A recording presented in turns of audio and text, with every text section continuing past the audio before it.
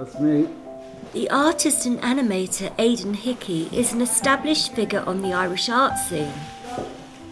He mentioned to a friend that he was thinking of painting a scene from one of the chapters of Ulysses.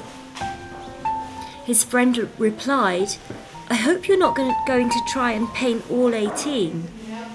Aidan thought about this and decided, why not? And so he set off on the mammoth task of delivering his dream. In 2018, Aidan unveiled nine of his paintings during Bloomsday at the Duke Street Gallery. Unusually, Aidan insisted that none of the paintings could be sold. His idea was that when finished, they would all be housed in one suitable art space. Know denies any involvement with the surrealists, but he knew them, and I suspect was influenced. The principal influence here, of course, was Flaubert, whose Temptation of St. Anthony inspired Joyce and inspired so many painters of, of the fantastic. But what I'm trying to come at here is that Joyce was a master of the realistic and fantastic, as is Mr. Hickey, as we can see by looking at these paintings. Uh, he is, first of all, a fine technician, and secondly, he has that surreal theme in him, as you will see over there, for example, Mr. Blow flaying at Les Dragonians. Um, like Joyce, also, uh, is a humorist. Uh, Joyce insisted that Ulysses was a comic book, a funny book. He said, uh, on my word as a gentleman, there's not a serious word in it. Well, whether Joyce was a gentleman or not is kind of a debatable question. Uh, he certainly wanted to be a gentleman. He had his, his white suit, his cane, uh, his, his uh, inordinate preoccupation with over tipping people. But I always feel that if, if he were to build himself, he would consider himself like the music hall entertainer Billy Bennett, who styled himself almost a gentleman. I think that Joyce was almost a gentleman. He was also almost a Jesuit, of course. But uh, uh, at any rate, uh, his gentlemanliness is debatable. Uh, that the muse was his was the comic muse is not. Uh, Thalia is Joyce's muse. He says of himself somewhere, "I would rather be a red-nosed comedian than a blue-jawed tragedian." He says, "I'm only a great joker of the universe." When he gets to the wake, so um, I think these pictures of Aidan's demonstrate that an artist can be serious without being solemn. They are no wise solemn. They are serious paintings. They are serious works of art. But practically nothing, if we ex- accept Richard Hamilton's extraordinary series of etchings uh, or prints, uh, practically nothing, practically no one took on the idea of illustrating Ulysses section by section. It's a formidable undertaking. We're here today to celebrate an artist whose work in progress, though as yet but half realised, constitutes already an astonishing achievement.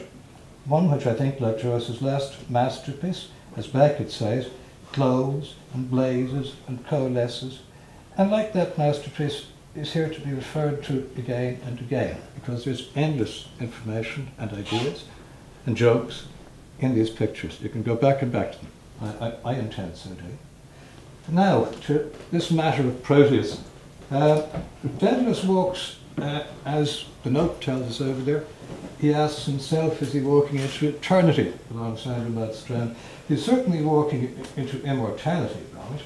And pondering the ineluctable modality of the visible, the sea god Proteus, the shape changer, mirroring his long monologue. When Ezra Pound sent that episode to the Little, to the little Review, Margaret Anderson, on reading the opening sentences, exclaimed, This is the most beautiful thing we'll ever have. We'll print it if it's the last effort of our lives. So I'm very pleased that uh, my friend Ronan uh, uh, uh, has made these beautiful prints. Uh, I'm not sure if they're perhaps the most beautiful thing I've ever seen, but they're pretty damn good. And I would prefer myself a print of Les Dragonians because it's so crammed with detail and so crammed with humour. But there you go. Um, what was I going to say? I would love to think that all these images will be available as prints at some stage, because as we've said, I think they're going to have to be sold as a unit. It would be a tragedy to break this thing up. And we have another. We're still waiting for nine. Good luck. uh, the late John Ryan, who went to an auction in the 1950s to buy a pop-up toaster, bought the Bailey instead. And having found that he had the Bailey, he thought it would be a good idea to install the door of number 7 Eccles Street, the fictional address of the Blooms, which he did in the lobby. And later he asked Patrick Kavanagh, whose diary he was publishing in Envoy every month, to say a few words at its unveiling.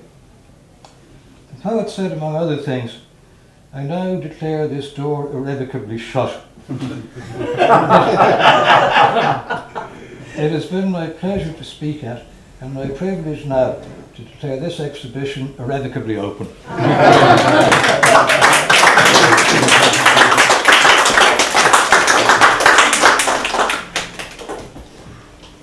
A said that if the paintings speak for themselves, the painter should keep his mouth shut. So, if I may speak briefly about myself, um, had I been born centuries ago, I probably have made a modest living painting Madonnas and Stations of the Cross for churches in provincial towns. But in our time, an agnostic narrative painter has no sacred text to work from and not much prospect of making a living. Did occur to me one day that in writing Ulysses, James Joyce provided Dublin with its own private Bible almost. Among many other things, the novel is a collection of ambiguous parables about the people who live in the houses and walk on the streets of this city. And once I had absorbed that idea, I began very tentatively to draw pictures and make paintings about the miracle of Leopold Bloom. So the only other people who are involved in this event are you, the visitors to the gallery. Um, it's often said that no painting is complete until it finds a responsive audience. So I do hope that at least one of the paintings will resonate with each of you. I also hope, sincerely, that in about two years' time, we will assemble again to view the complete set of 18. So thank you all for coming on such a lovely day.